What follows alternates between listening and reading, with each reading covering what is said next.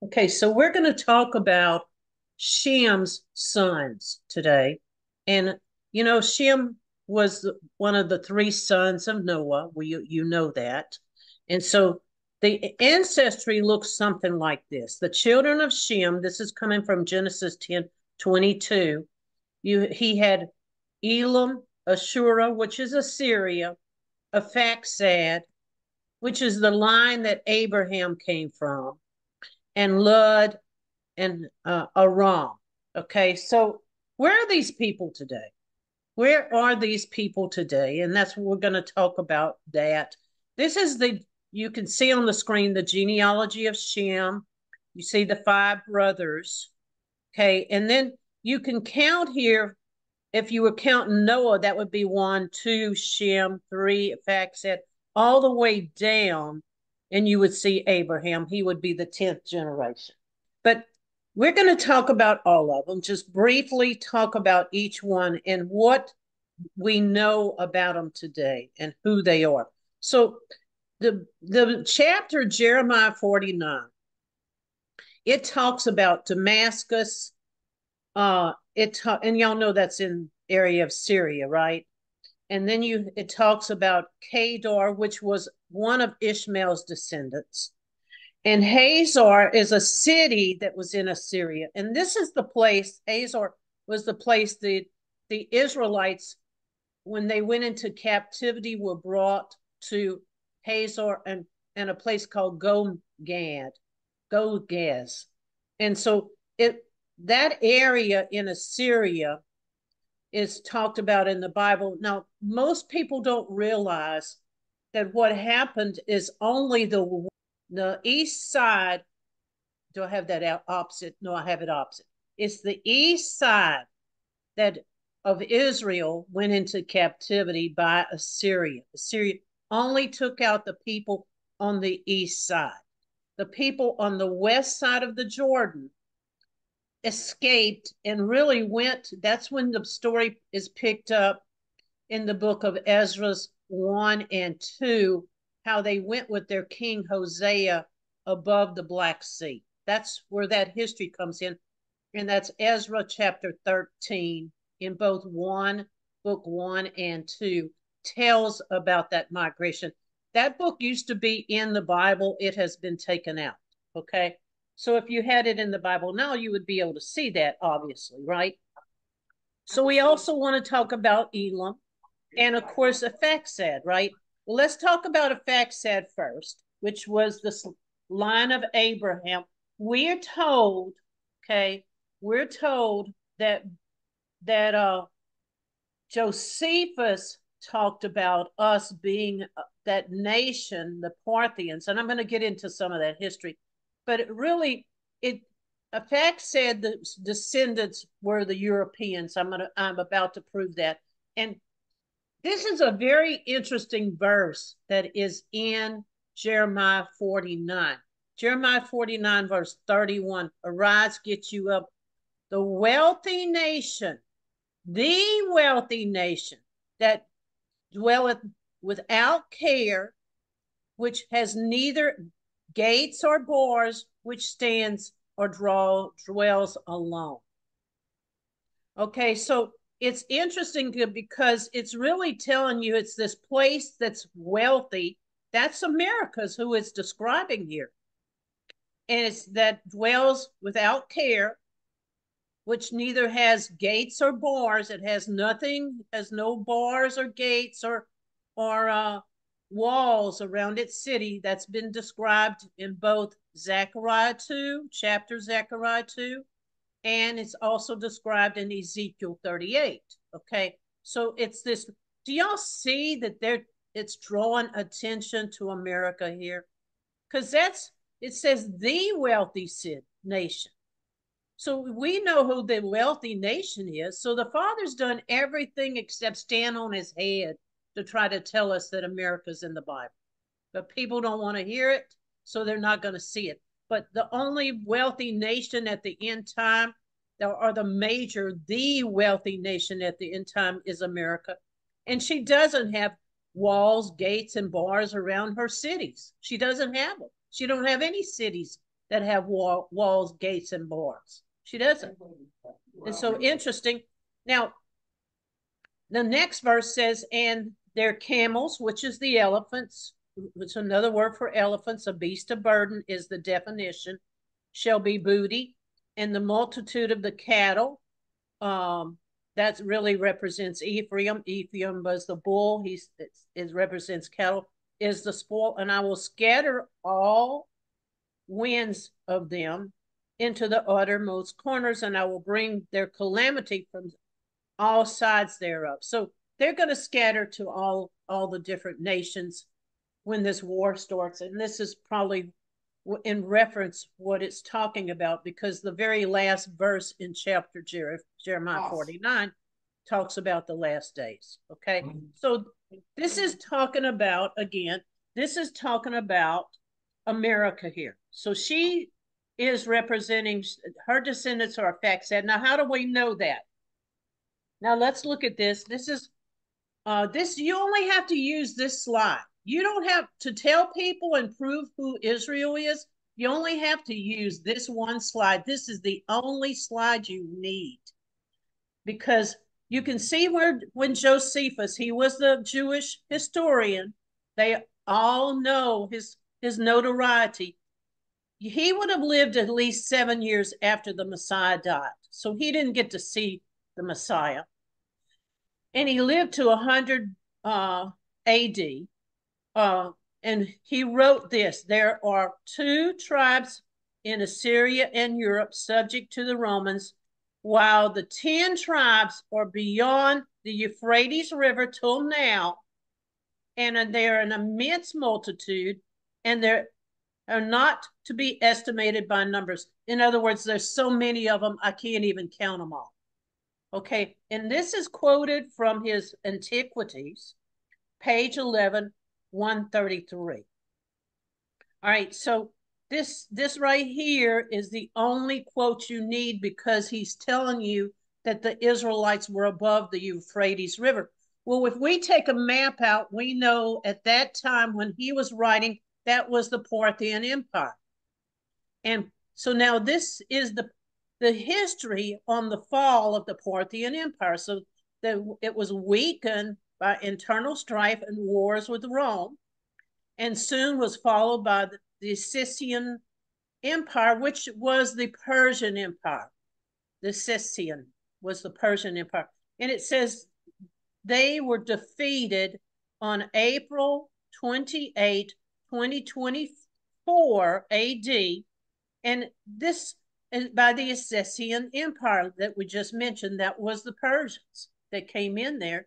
And a lot of times they just think they just absorbed those people, but really, this is where George Rawlinson picks up. He wrote the history of the Parthian, Parthian Empire. His name's George Rawlinson, and it's the complete history. He said they moved above the Black Sea at this point. That's what that's what history tells you. And then we know that all of these uh, Germanic tribes started moving themselves over into uh, into Western Europe. We got that whole history. They sacked Rome in 410. They the Parthians went to war. It's called the Forgotten Empire, um, Parthian, because it was the rival to Rome. And it went to war with Rome 13 times. Okay, so most of you know that history. If it's a simple history, and when somebody tells you, "Oh, we aren't, uh, we aren't the tribes of Israel," just point them to this history because these people are authorized history teachers. These are not run of the mill. These are, are the history teachers that everyone looks to as authorities. Okay, so here's your history. You only have to show them that, and that's your proof that America is bloodline Israel because 75% of her people come from Western Europe. Western Europe Britain, Scandinavian countries. That's where 75% of them come from. Now let's take a look. All right, the children of Shem were Elam, Ashura, which, like we said before, is Assyria. Aphaxad, which was Abraham's descendants. This would be the blessed line. This was won't be the one that gets all the blessings because remember Abraham's descendants got the blessings, right? Then you have a Lud, and then you have uh, Aram. Okay, now I want you to look at the. This is the DNA map of Europe, okay. and R1b. Usually they'll call it R1b1, but that so you see that it covers all of this area right here that's in red. And that would be, you see Norway here, um, and you see the Scandinavian countries would see they would have they would have these same people in them. You would have um, England, and you'd have Ireland, and you'd have the entire Western Europe, including the boot of Italy, all of those have that DNA bloodline. Now notice on the east side of your map, and now you see R1A1. Do y'all understand the way DNA works? It, it works with what they call haplogroups. And these are haplogroups. R1B is a haplogroup. R1A is a haplogroup and they can y'all see that they are in the same family? So whoever these people are right here r1a they're in the same family line with r1b do y'all do y'all see that? Do y'all make that connection? Because that's why they give them the r. Because they're in the same family. I believe that most of these people in this r1a group are going to be the other children of Shem. Now, when you look at history and you look at these people, these are very, very poor white people. Very poor. Okay. Over on this side, not so much. They're wealthy, influent. Up until now, we're all in trouble, right? But and even the descendants that went to America, very wealthy. Okay, you know, they, in other words, they received blessings that the people in the eastern side of Europe didn't receive. You, it's easy to see that these are very poor people for the most part. And so they didn't receive the blessings of Abraham, which means none of these people are from the tribes of Aphaxad, which is Abraham's people. Because if they had been, they would have received the blessings for Abraham. Do y'all understand that? Now that, that's real easy to see. Okay. Anybody want to make a comment? By the way, right up here where it says in, this is where the Jews that live in Jer Jerusalem now ascended from. This is this this was their original place. They eventually would move themselves over into Russia. Uh, most of them would be in Russia and in Poland. You can even see it here. Uh, and so that's who they are. All right, now Here's R1B. This is all the Israelites, and this is how far their DNA goes. Now, you want to look at the map here. Can y'all see that map? I'm going to try to move it so you can see it. Um, the ones in dark, dark, dark purple, do you see that those, that's Iceland, that's uh, Norway, it's um, Ireland, it's Britain, it's the Western Europeans, maybe not so much the boot of the Europeans, and Spain, all in this Western Europe area. And you know, and then you're going to have some, you see some some that are 25 to 50 percent. They those would be in that same region, some of that same region, because people are mixed. But notice there's some interesting things. There's a pocket here in in Russia that is Israelites. Do y'all see that? There's a, also a pocket in Africa.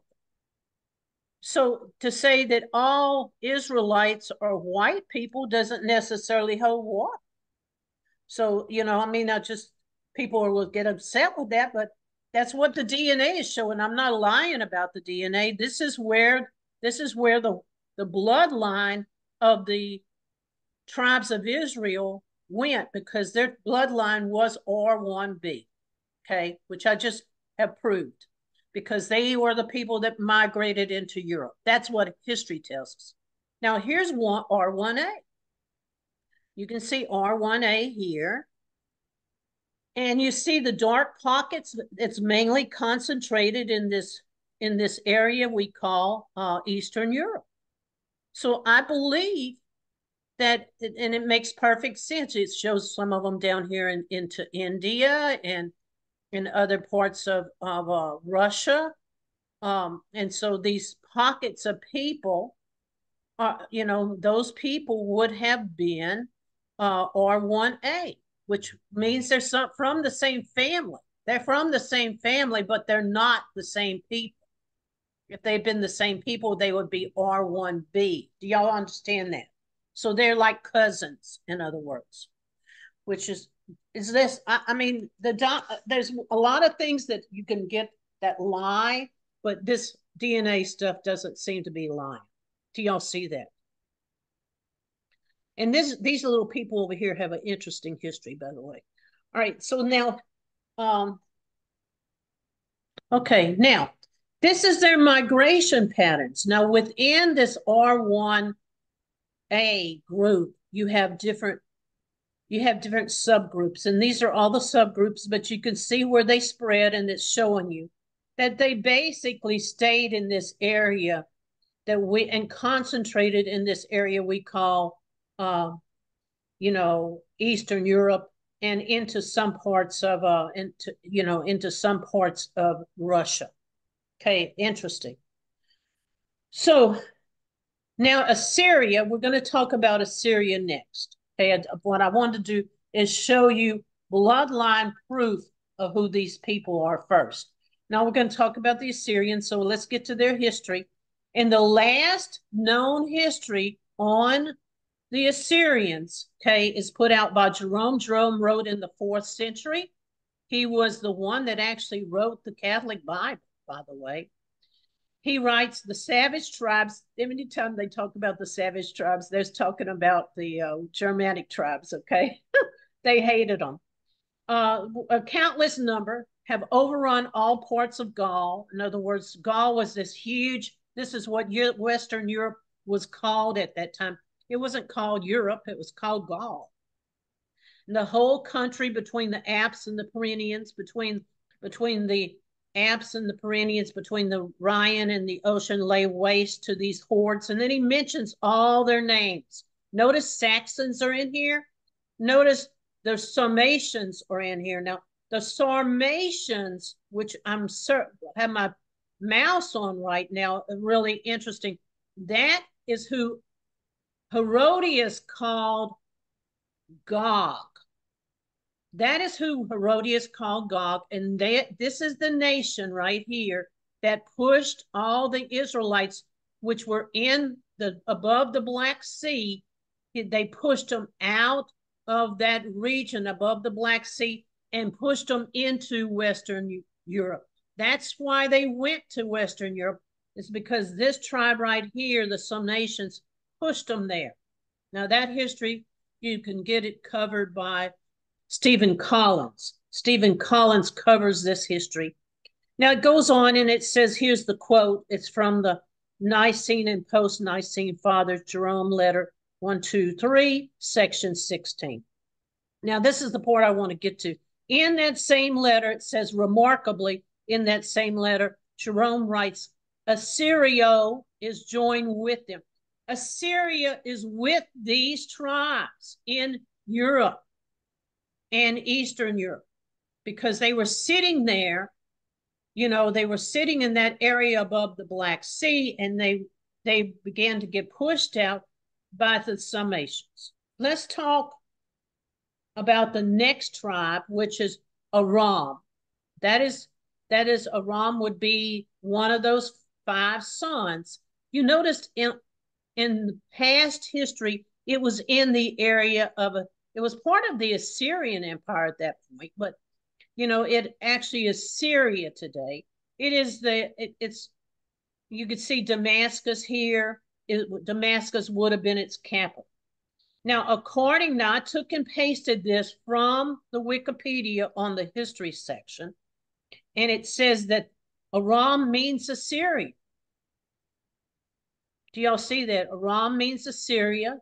It's a region from the coliforms, and in the Bible, they were called the Armenians. So the Armenians today are Aram. And that's what history is telling us. It said now it says they developed into a large empire, but consisted of numbers of small states in present day Syria. So they're in still in Syria in small groups and in northern Israel. Some of these states are mentioned in the Old Testament. Damascus, being the most outstanding one, came, which came to encompass most of Syria. Furthermore, uh, Aram, Damascus is the common reference to simply Aram in the Old Testament. Now, how about that? So the the area of Syria is one of the five sons, is one of the five sons of Shem. Okay. But I think this is fascinating stuff. Now, when you get to the Jeremiah 49, he talks about Damascus, how it's destroyed. It's also talked about, where's the other chapter is talked about? Um, I think it's in Isaiah chapter 7, it's talked about, but it's in two different places. Uh, and I think one of them's Isaiah 7 or Isaiah 8. I can't remember right now. Now, I'm going to go through just a little bit of the proof here. It says in the seventh century, uh, they were conquered and they were in the area of Syria. And then it says, however, the native Western Aramaic um, is a is a language of the Armenian Christian population in Syria is spoken today. So do you see that this is probably one of the reasons why they're Christian? Because it, it tended to flow that way. It flowed through Shem's children. Okay. And it says it's the majority of people in in that area those do speak Arabic, but there is a group among the Christians that speak the Western Aramaic language, which is the one linked back to ancient history. That's what they're telling you here. They still survive among the majority of ethnic divisions in Assyrians, who mainly base are in Iran and the northeastern part of Syria and the southeastern part of Turkey and the northwestern part of Iran. There you go. So the, the people that we refer to as the Assyrians, many of them would have been the descendants of Aram. And I didn't write this. This is just the history, okay? This is the history. Now we're going to talk about Lud. Now, Lud was, see, here he is, one of the sons of Shem. And Lud is a little harder to identify all right, the descendants of Lud are usually following Josephus connected to Anatolia. Now, Anatolia is the name for Asia Minor. It's the old ancient name for Asia Minor, particularly the Lydia. Now, um, you can see that this is Lydia. This is Sardis or Sardinia.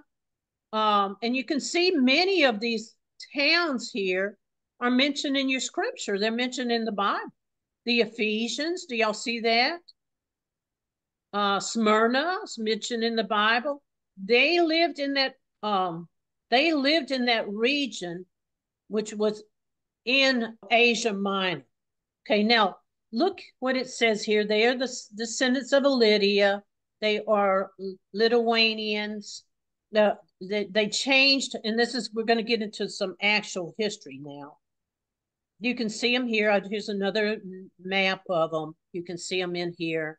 They're more along the coastline. All right, so here's the actual history. They uh, their original name was of the Lydian Empire was called Maeonia. And Maeonia is talked about by Homer in his uh, in his some of his writings. Herodotus wrote about them also. He said they were renamed the the uh, Lydians. He goes on, he says that they also were one of the sons of Shem. See, here's, here's Josephus saying they're one of the sons of Shem. Do y'all see that? And it says they claimed, Herodotus claimed that they changed their name to the Titanians. All right, so interesting. they, according to Dionysius, who was another historian, they would have been in the area of Italy. Do y'all see this? They would have been the Estonians, the Erburians, um, and they would have been the people that we would consider the Italians. All right, so I'm not saying all of all Italians are from this line of Lydia, but it's possible because we've lost a lot of this history, and only the Father knows exactly, right? But that's that's what history is backing up. That's what history is backing up. Now, now we want to talk about Elam. Okay. Now, Elam is the one that's talked about at the end time, and we're going to read that information on it. Remember, um, Elam was the oldest son of Shem. It's interesting that Aphaxad was like the third son, son of Shem, but he received the blessings. And this is because he was obedient. His line was obedient. You know, that's the reason that you get the blessings because of the obedience. All right, so here's the definition of Elam, and it means to be hidden. It means to be in a distant place. So it means to be hidden, means to be in a distant place or country. Okay, and then it mentions Elam was the son of Shem. So there's no doubt who this these are. All right, so this is what this is what history and is going to tell us, and this is what the Bible says. All right, so First thing I want to show you here, we're going to read the last verse first. Jeremiah 49 39. And it came to pass in the last days, is what how that should read. I will bring again the captivity of Elam. Now, notice that 3 H319 is the word for last last days, and it means last or end. It that's what it means. It means, you know, it it is possible for it just to mean a later time, but it it really zeroes in on being the last or the end. So this is talking about in the last days, these people, the Elam, would they're going to go into captivity. All right. So captivity means main, mainly they're being moved from their land. Now let's start up here and verse 34 of Jeremiah 49. The word of the Lord came to Jeremiah the prophet against Elam. All right, and then it tells you it's in the beginning of the reign of Zedekiah. Well, you know, this probably is a history that was going on back then too. Remember, history can be fulfilled more than once. Verse 35 And thus said the Lord of hosts, Behold, I will break the bow of Elam that is his power, that is his strength. You know, so what nation at the end time is has a, has their bow and their power being broken right now? The chief of their might. And upon Elam I will bring four winds of the four corners of heaven and scatter them toward the winds. What country at the end time has their people that have ran out of their country now and they're in other Eastern European countries. And you guys have to ask yourself, why does the Eastern Europeans take them in? Because they're family. That's why. And so going on, and I will cause Elam to be dismayed before their enemies. Their enemy is is I think Russia, and I think yeah they are being dismayed. All right, they're they're being taken down by their enemies, and before them that seek their life, and I will bring evil upon them. Even my fierce anger, said the Lord, and I will send a sword upon them, and I will consume them. I'm telling you, the only nation that this can be describing, if we're living in the last days, the only nation this can be describing is the Ukraine. Because that is the only nation at war right now. And she's, uh huh. Um, back to uh, what was it? 49, uh, 39, mm-hmm. where it says, I will bring again the captivity. That's the number 7725. And it's the same over in 49 6, where it says, And afterward, I will bring again the captivity. And it means turn back to captivity, I thought. Well, he's going to turn back the captivity. That may or may the word can be used more than once, but uh, in different ways, and it can also mean the captivity. I understand what you're saying. They'll bring be brought back from the captivity. There's no doubt that they're going to come back from their captivity. That's a real good point. But they will go to war. This whoever this nation is, and it says in the last days, they will go to war. Do y'all see that? They will go to war. And it says they will be dismayed by their enemies. I will bring the point is really very good there, Sarah, because that is true. Um, before them they seek their life, I will bring evil upon them, and I will send a sword upon them. That the only nation this is occurring to right now is in, in Eastern Europe is the only country that can possibly be is the Ukraine. Do, y- do y'all see that? Can you can you follow what the father's saying here? Because you you think see this is the problem with people that read their Bible.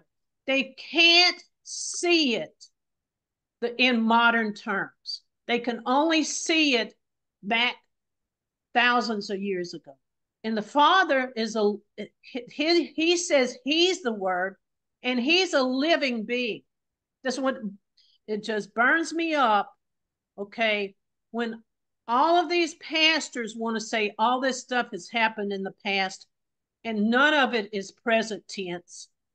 And i'm telling you the father hasn't left out nothing. Nothing in our news has been left out. You read jeremiah 49 he talks about the war that that's been going on in all of these countries, in the Arab countries. Okay, that's Kedar. In the country of in the area of Damascus, we just had an attack on the on the embassy on April 1st in Damascus. So all of these countries are being mentioned. And this is modern time stuff. And nobody wants to believe this because they think, oh, she's just wacko. Well, all these people have the same bloodline as the people in Europe. So how you figure that? How do they have the same bloodline? Because they're one of Shem's children. Now, they, I may not be right on the on all of these because it's real hard to trace this, but that bloodline DNA doesn't lie. And so this is where this is where I, I want to bring out the point that they're going to fall. It says they will be destroyed and their king and their princess. Their government is going to be taken down. Now, we're in the process of seeing that happen right now. Uh, Russia just hasn't gone in and just ended it. But, you know, these are these have to be the same people, the same cousins to the to our people because they look like us. You know, for the most part, most people in Europe are white, um, you know, have light colored features. You know, you have these people in Eastern Europe, they look just like them. They're very similar. Okay. They got to be cousins. They, they can't be anything but cousins when they're in the same family hollow group. Do y'all understand that? And it says in the last days is when they're going to be destroyed. And then Sarah made the point that I will bring them back from their captivity. So they'll at some point they their land will be restored and they will be brought back. Okay? So that's the father's purpose is to do all that. So I just want to stop just a second here and you know do all of you see what I'm driving at here? That you know everybody thinks that the Bible was written years and years ago, thousands of years ago. It just pertains to those people. It's nice to read it and, and get some stories and some little moral lessons, you know. But no, it's much more than that. It's much, much more than that. It, these people that are living and breathing and these things that are going on right now are written in your Bible. They are. And we just don't we can't wrap our mind around for some reason. We just can't. And I mean, I'm not saying dogmatically that this can be Ukraine, but I could say that she's in the top five. so, you know, this is what, all right. So now this is where the Ukraine sits. Here's Crimea down here. Uh, the Israelites, we know, came up through this area because we have that history that used to be in the Bible from Ezra. He, they came up above this area. They found all kinds, like 400 um, tombstones that have Israelite inscriptions on them, right in this area along the line of Crimea. So, you know, so this whole area used to be the place that the Israelites set for years until they got pushed out. So, in other words, it used to be our homeland. Now, you know, if I go into the history on this, now here's old ancient uh, Elam. It goes way back in history. You see, here's the Sumer. Sumer was the place where Nimrod came from. Nimrod came from Sumer. That was the old ancient name for for Babylon, really. And you you see this whole area here. This whole area was Elam. It said Elam in history was under the captivity of the Assyrians and then the Persians. The history recorded that they were made slaves and exiles to the Assyrian uh, territories. Well, people in Eastern Europe, they, that's why some of them are called Slavic people, because the word Slavic means save, slaves. They've been slaves and they've been in between all these wars all these years. And this is the old Parthian Empire. It's the same area. You know, it just happens to sit in that same old same area. All right, so the ethnic group, this is what it says, by the turn of the 21st century, the ethnic Ukrainians make up more, more than three fourths of the population. So whoever they are, they make up three fourths of the population. Then one fifth of it is Russian. One third, third fifth of their population is Russian. The rest are all these other tribes that are mentioned in Eastern Europe.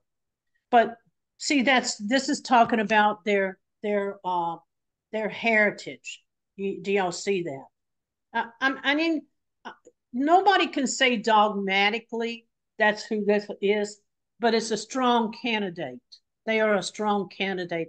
And the way that father writes this prophecy it's coming alive now and and there's no doubt about it and at some point we're going to take you into the new testament and I'm going to tell you right now that New Testament is comes to its fullness. It comes to life at this time in our history.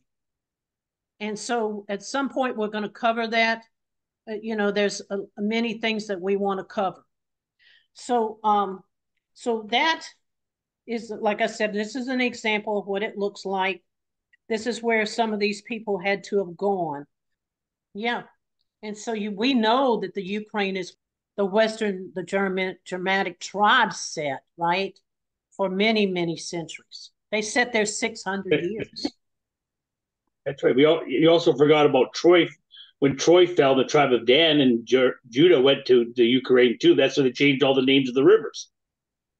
Let's just quickly. There's written before the Exodus out of Egypt, the tribe of Dan went into Greece, and it was called Dan, Dana, just like when they migrated to Ireland, and the tribe of uh, Judah ruled over the Red Lion, and it just goes up. And they when Troy fell, uh, twelve thousand of Danites and, and, Judah went to the Ukraine. It's all documented, and so it became that's where we have the royal Scythians that were the, by Rostov, and that's where they buried all our the kings of, of Israel in in, uh, in the Crimea area. Also, when the when the in Western Israel when they went when it fell to the Assyrians, in Ezra, it says that they went up through the pass of the Israelites, which is in the Caucasus Mountains, and they only changed that name up to 1850. There's the biggest pass, and also the um, the uh, top of that pass is called Mount Zion. So there's so much history, so much, so much history there that we don't even know. But if you can just remember the quote from Josephus, because Josephus would have known where the Israelites were at that time. You know, you understand that he lived during that time. Yeah, but, he knew where they were. That's right. But also the Bible says that in Ezra, that it says in there that, that the, there are so many Israelites left and went into the Ukraine, that they had an army of 120,000 men guarding them. Yeah. It says in Ezra. So, you know, when that prophecy comes in, it says the third died by war, third died by famine, third died by pestilence. You know that that never got fulfilled in the first attack on Israel. It didn't. Because that would have wiped out two thirds of Israel at that time, and and you only had the tribes on the on the um on the east side of the Jordan that were impacted because the ones on the west side left out. And, you know, they left a little skirmish area, just a small little group there, remnant. But all of those guys moved out. They came out, and which is what happens when there's a war. You know, people, we've never had a war, so we have no idea. Our people, because I really don't want to see what's going to happen. If, but this country has gotten so far down the pipe, it's so much like Sodom and Gomorrah. I don't see how the Father can just look the other way forever. He's got to bring some kind of punishment on this land. Because otherwise they'll never turn their ways around. You know, the father wrote that those books, those 11 books of the prophets. They he wrote it for the people back then, and he wrote it for us today. And that's the truth and it and you can go look and count how many times it says in the last days i think it's like 61 times in mostly in those books but also in the old testament 61 times it says in the latter days so he's talking about the latter days you know that things happen in the last days so unless you just want to ignore those 61 verses you know, if you want to just ignore that and say, oh, that's all got done years ago and ain't to happen again. Well, I would love to believe that, but the Bible is very directly telling you that some of the same things that happened then are going to repeat. And, and, and we can prove, prove that without a shadow of a doubt by going to Zechariah chapter 2. All right, so anyway, you know, you, you got three books of those 11 that were written after both Israel and Judah went into captivity. Both of them went into captivity. Uh, all three of those books were written after Judah had already come back into the land. So who are they written to? You know, so that's a, a real good question because they couldn't have been written to the people that had already gone into captivity and came back 70 years later because the book of Haggai and the book of Zechariah and Malachi, all three of those books were written after Judah went back into the land after her captivity after 70 years. So, you know, it's you just it can't hold water. You know, you can't hold water on this idea that all of this stuff has already happened because it just can't be.